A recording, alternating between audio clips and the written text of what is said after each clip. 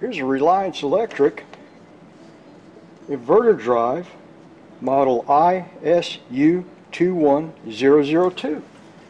Had bad cooling fan that was seized up in it. Now we're going to run a motor. Now we're going to apply 220 volts AC, three phase to R, S, and T, and here UV and W is the motor connection. Here is our stop switch. Has to be closed.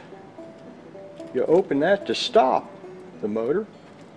Here's our start switch. We close that to start.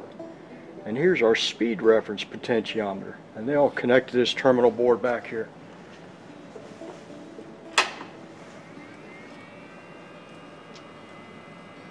Oh, we just powered up the drive. Let's close the start switch. And right now we're running at 481 RPM.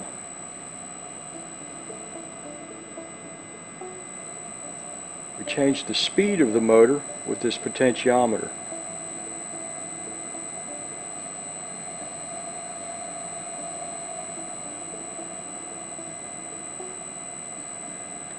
Alright, here's the cooling fan that I changed out.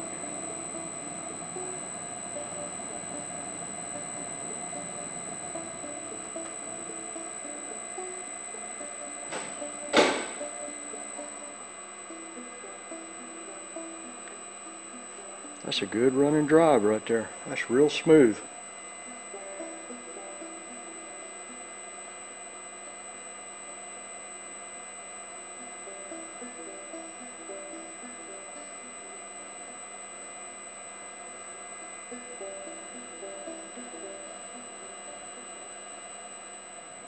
All right, let's look at the UVW waveforms on that Fluke oscilloscope. There's U to V, and that is nice. Spread that out and look at that PWM.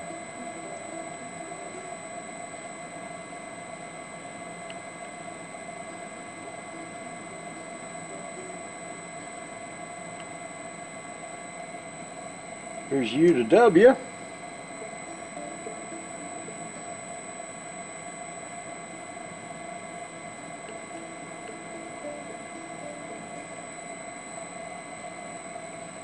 And lastly, here's V to W. That is perfect.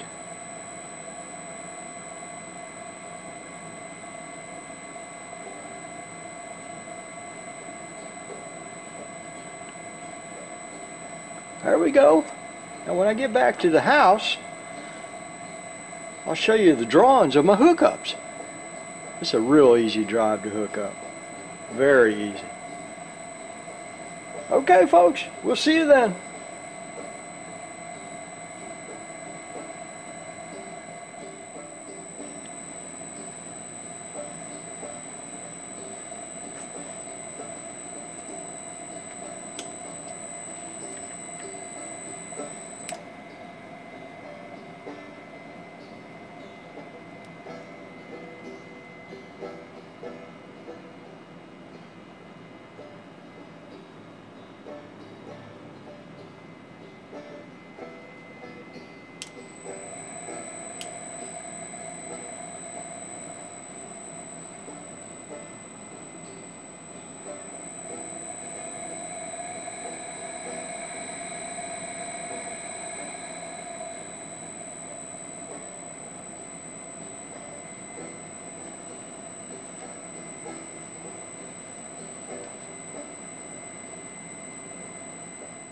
Evening. Oh, it's cold and raining outside. I just got back in from filling up the bird feeder so the birds can warm up their bellies with some good food uh, before the sun goes down. Here we are in winter time again. Whew, where'd that last year go? These years go by much, much too fast these days. These days or these years. They're interchangeable anymore. Here is the control connections that I used uh, to run that Reliance Electric inverter drive SP500 model number 1SU21002.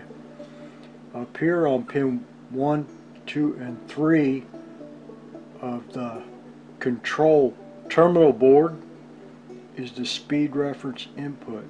On terminal 1 we have uh, plus 15 volts DC out to the potentiometer to power up the potentiometer and ground on pin 3 and the speed reference pin 2 to the wiper of that potentiometer.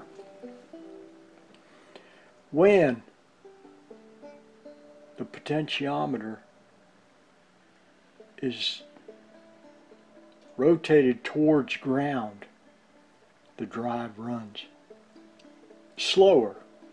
And when the potentiometer is rotated up towards plus 15 volts DC, that motor runs faster.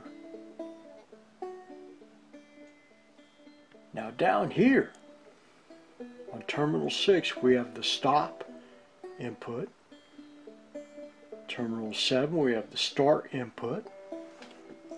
Terminal 9 we have forward when this switch is open, reverse when the switch is closed, and all of this connected to 24 volts DC common.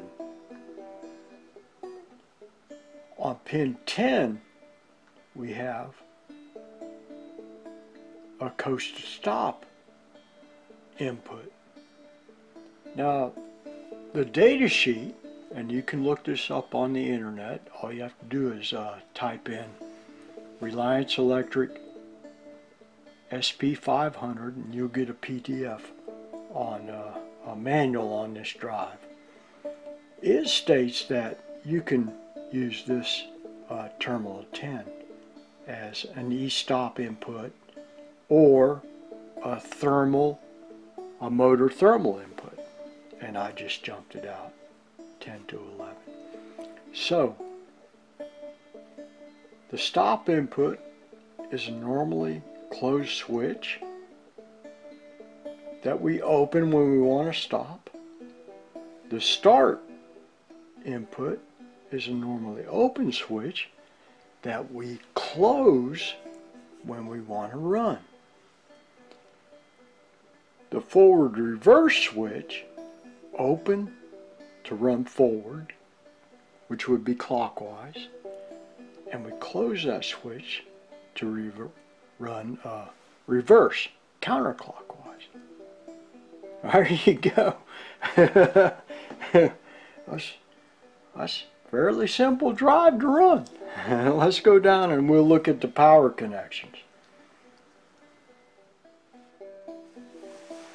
Here are the power connections.